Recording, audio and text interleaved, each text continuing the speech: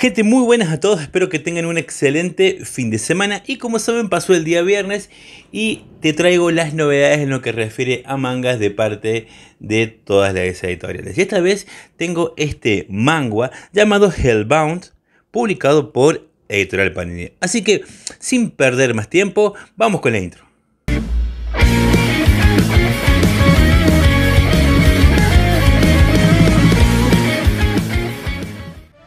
Bueno, y ahora te voy a comentar un poco por qué no lancé esta novedad anoche, cuando fue el tema de todas las novedades, viernes de novedades. Bueno, eh, me había olvidado el manga en el, en el local, en la comiquería donde yo suelo habitar eh, comprar mis mangas.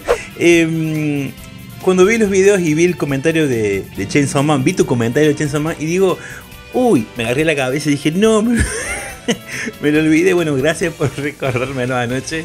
Y ya bueno, ya que este, este, este, video va dedicado para vos porque vos lo pediste. Bueno, y también le quería responder a, Lucas 2294 eh, o Lucas 2294 y también a Benimania, que son dos de nuestros, de mis suscriptores, que la verdad que siempre están ahí comentando. Gracias, gracias chicos por sus comentarios.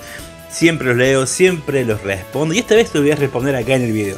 Bueno, Lucas me preguntaba qué hacía con los mangas que compraba eh, de todas las novedades que tengo. Bueno, eh, los tomos que a mí me gustan particularmente, sigo, la, sigo el manga. Eh, compro, toda la vida he comprado tomos de manga desde que, desde que tengo, desde que tenía 17, 16 años, compro manga y tengo una gran cantidad de mangas. Em, los tomos unos que me gustan, sí, los sigo. Y los que no, bueno, van quedando ahí. Ya veremos qué hacemos con, esos mangas que no, no estoy siguiendo. Eh, y bueno, lo mismo también le respondo a Benimania. Y muchas gracias, Benimania, por, por comentarme los dibujos. La verdad que eh, tu comentario hizo que por ahí me dieran muchas más ganas de dibujar y mostrar un poco eh, mis dibujos. Bueno, así que ya respondido este gente, vamos a proceder con el manga. Bueno, gente, Hellbound es un manga escrito por. Ay, los nombres coreanos. Bueno, Jong Sang-ho y dibujado por el artista Choi Yu Seok. ¿Seok es? Sí, ahí dice. Seok.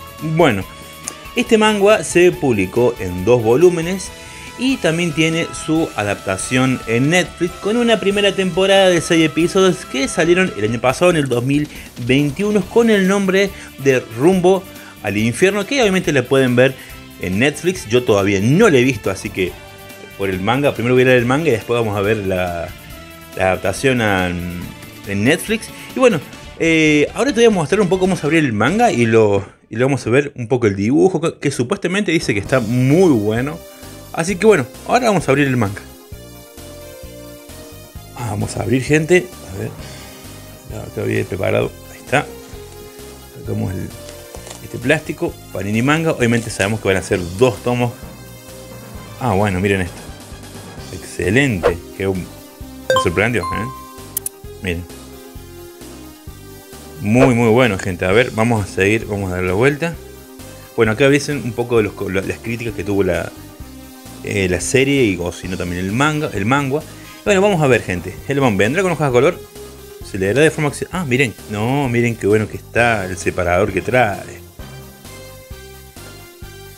No, muy, muy bueno. Bueno, sigamos adelante, gente. Vamos a ver, ¿se leerá de forma occidental? Sí, se lee de forma occidental.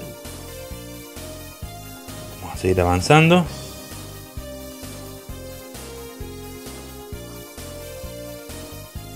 Qué bueno, muy bueno, gente, se lo ve muy, muy bueno el dibujo. Miren estos bichos. Excelente, gente, ¿eh? Sigamos.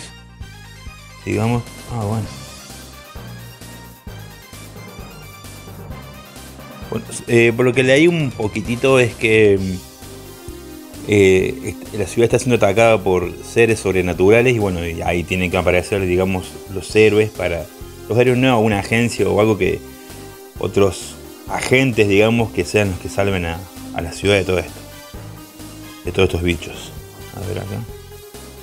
Son como fantasmas sobrenaturales o algo así. Porque también hay como si fueran bestias. Se lo ve muy real el dibujo, gente. Miren. Están estos bichos que aparecen en principio. que son los que parece que andan haciendo estrago por ahí. Y bueno. Se vio, gente. Eh, debe estar bueno. Yo lo voy a leer y cuando haga, el, como siempre digo, cuando haga el, el, video de las compras mangas, voy a comentarte un poco qué me pareció Hellbound, el tomo 1. Bueno, gente, lamentablemente llegamos al final de este video. Espero que esta novedad Hellbound de Panini, este manga, te haya gustado. Y bueno, viste que las cosas que trae, esto que la verdad que me encantó, esta, solapa que trae en la cubierta, gente, muy bueno. Yo pensé que era, yo lo vi todo en el plástico y se veía como que era parte de la tapa. Me sorprendió, me gustó, verdad que muy bueno. Eh, el separador que trae es genial, de los dos lados, ¿ven? Y bueno, y el dibujo está bueno, es bastante realista en algunos casos. Eh, ya lo voy a leer y vamos a ver de qué se trata un poco Hellbound.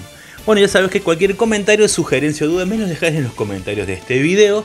Y ya sabes que como siempre digo, suscríbete al canal, dejarme un like y también comentar para este, saber más o menos si te gustó, querés que le hagamos un review, etc. Bueno gente, les ha hablado Marcelo y nos vemos en el próximo video. Chao.